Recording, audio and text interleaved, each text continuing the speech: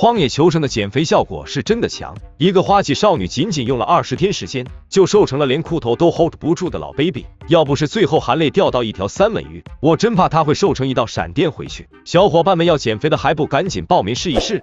来来来，点个赞，我们接着往下看。挑战来到第十八天，场上还剩下五名挨饿选手。今天是阳光明媚的一天，科日夫也因此心情好了很多。来到海边，看到远处的大山开始积雪，这意味着新西兰的冬天马上就要来临，之后的日子只会越来越难熬。柯日夫已经把所有伞绳用完，今天他决定亲自手搓一些绳子备用。为了提高制造效率，柯日夫还做了一个原始的绞绳器。不得不说，这些嗨佬还真有几把刷子。找来树叶，将其切割成丝状，接着再将细条树叶压出纤维。这个过程不但枯燥乏味，还费精力。要不是会唱几首歌打发时间，肯定干不了这么无聊的活。Stripping fibers, stripping fibers. One of these, stripping fibers out of flax. 搞好细线后，再将线头绑到绞绳机上，只需转动绞绳机，就可以源源不断生产细绳。好家伙，看来这求生没点技术。还真不敢玩了。安德烈这边天气也很好，但这几天气温也明显下降了很多。远处的大山积雪开始蔓延。在过去的一个星期里，安德烈简直被潮湿天气折磨的没脾气。开局到现在，几乎天天都在下雨。以至于他这些天以来连个火都还没搞出来，郁闷的安德烈差点就像提桶跑路了。目前为止，庇护所都还是个手瓜棚，所以今天他决定完善庇护所。首先，第一步就是做一张悬空吊架床，用木头削先做好床架支撑。但做床架用这么粗的原木，你是认真的吗？塔米卡正哼着歌在钓鱼，昨天弓箭、狩猎毛都没搞到。自那奇塔就决定不再用弓箭打猎了。刚出生两个月的蚯蚓做鱼饵，试问哪一条蛋白质能抵挡得住这种诱惑？可理想很丰满，现实很骨感。塔卡米在海边蹲坐了大半天，也更换了无数钓位，别说什么大鱼了，就连个小虾米都没收获。他意识到自己的身体已经在走下坡路，再这样下去，留给自己的时间就不多了。可麻绳专挑细处断，厄运只找苦命人。塔米卡的鱼线一不小心就被他扔到了海里，这把他气得当场口吐芬芳。Oh my had it attached to my bit of wood. I cast it out. I lost a hook. I lost a fish. 挑战来到了第十九天，苏珊正在保养已经发霉了几天的鞋子。今天的天气非常好，她打算拿着工具出去寻找蛋白质。她的目标是丛林里的负树，找到一处腐木下的树洞。苏珊马上蹲下查看里面有没有小可爱，可惜找了大半天。依然没看到任何蛋白质，最后只能收集一些蕨类植物回去。这种植物富含碳水化合物，但吃多了可能会有致癌的风险。马上生火准备干饭，可惜这里的环境太潮湿了。苏珊打火时都抡冒烟了，也没能把火搞出来。看来今天的晚餐还得继续喝西北风。现在又冷又饿，还累得要命。这个老 baby 从来都没感到如此的失望。时间来到了夜里，白天钓不到鱼的安德烈打算尝试夜钓，但晚上气温骤降。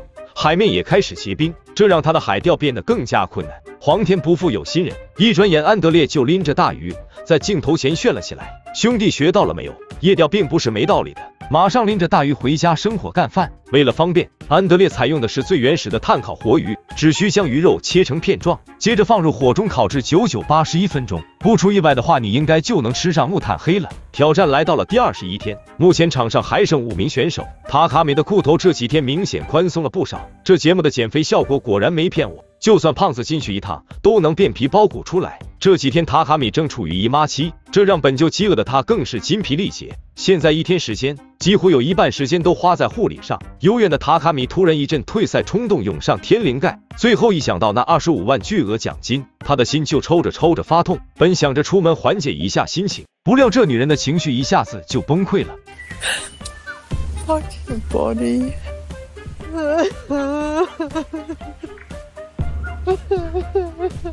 挑战来到了第二十二天，瑞克在海滩发现了野鹿的踪迹，这说明猎人已经进入了狩猎区域。瑞克沿着踪迹一路寻找，但这里的植被实在太茂密了，周围除了大树，还有就是比人头还高的杂草，这严重阻碍了瑞克的狩猎视野，而且还大大消耗了体力，最后把瑞克直接累趴了。他的伊拉克战损版鞋子此前已经报废，现在穿起来脚尖感觉一阵刺痛。瑞克无法判断是冻伤还是鞋子导致。今天的打猎怕是要泡汤了。塔米卡打猎打不到钓鱼，还丢了鱼钩，现在他也不知道自己该怎么办。目前的状态就是躺平等死。经过一番深思熟虑之后，他终于做出了退赛回家的决定。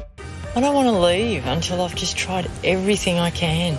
I'll never get this chance again. I'll never. 但在离开之前，他还想拼死一搏。塔米卡背着行李回到海滩上，却意外发现了周围的野兔巢穴。但由于塔米卡怕死，并不敢在此处停留，他又来到一处靠近海边的草丛里。他打算穿过去海边钓鱼。塔米卡说：“没想到自己还能走那么远。”对此，他又感到了一丝希望。瑞克这边还在努力的寻找蛋白质，但这几天下来什么动物毛都没发现。我说：“你这嗨老就不会试一下钓鱼吗？”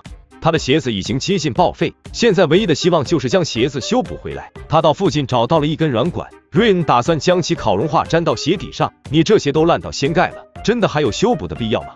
但这个老头就是勤俭朴素，没办法。只见他将软管切成碎末，接着放到火上将碎塑料烤融化，同时用铁丝把鞋底和鞋面刺穿，为的就是用绳子穿过针孔将其固定。最后再糊上塑料胶水到缝隙中，一双伊拉克战损版战靴就重获新生了。至于效果如何，还有待考证。科日夫编绳子已经两天时间了，反正这嗨佬就像不饿一样，整天也不去找食物，就在这干手工活。现在还好意思对着镜头说自己饿？你继续在这里坐着，我去给你叫个外卖好不好？科日夫说他十一岁的时候就患了多动症，当时看起来还不太聪明的样子，小学时还不小心搞大了女同学的肚子，幸好家长最后也没怪他。现在来参加挑战，目的也是赢取奖金回去补偿人家。这传奇经历，别说你们感觉很胡闹，我听到都被吓得瑟瑟发抖。挑战来到了第二十二天，场上还剩下五名选手。塔米卡这边钓鱼依然没有任何收获，现在他准备尝试佛系钓鱼法。在他更换了无数钓点后，鱼钩终于迎来了收获。